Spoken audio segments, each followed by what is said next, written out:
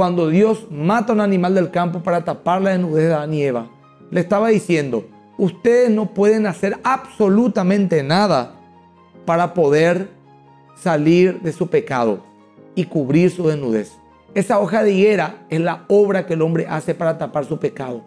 Dice, por ejemplo, voy a hacer mi religión, voy a hacer mis rituales, voy a hacer caridad, voy a hacer algo bueno para compensar de alguna manera todo mi, todo mi pecado y ver si Dios me acepta.